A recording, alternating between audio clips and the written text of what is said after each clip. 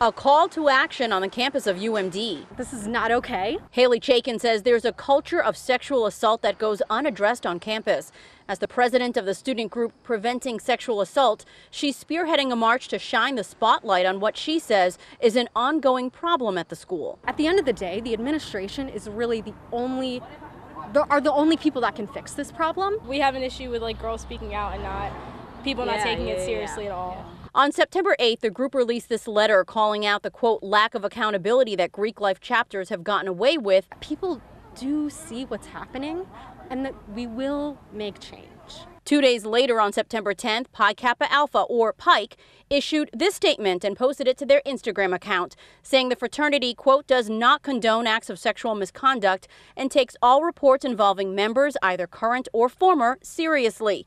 We contacted UMD, and a spokesperson stressed the school's deep commitment to creating a safe environment, one that is free of sexual misconduct for its students. Tonight, the university confirms that fraternity, Pi Kappa Alpha, was issued a cease and desist order this fall semester. While we don't know exactly why they were issued that order, we can tell you it essentially means that fraternity is unrecognized here on campus. Pike, now banned from having any activities, even recruiting.